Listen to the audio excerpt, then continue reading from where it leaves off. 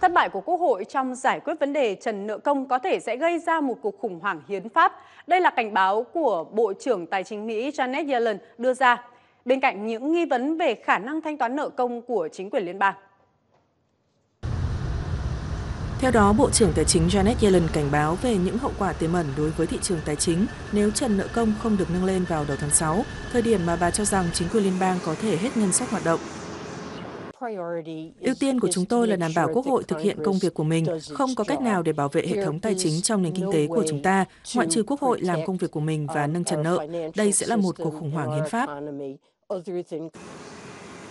Bà nhấn mạnh, đây là nhiệm vụ mà Quốc hội phải làm và việc để xảy ra một thảm họa kinh tế với các hộ gia đình Mỹ và hệ thống tài chính toàn cầu là điều không thể chấp nhận được.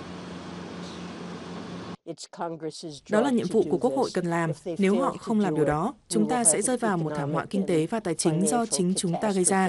Tổng thống Biden và Bộ Tài chính Mỹ không thể làm gì để ngăn chặn thảm họa đó. Tổng thống Biden dự kiến sẽ họp tại Nhà Trắng vào ngày 9 tháng 5 với Chủ tịch Hạ viện Kevin McCarthy, lãnh đạo phe thiểu số tại Thượng viện Mitch McConnell và các thành viên chủ chốt của Đảng Dân Chủ tại Quốc hội Mỹ để thảo luận về vấn đề này.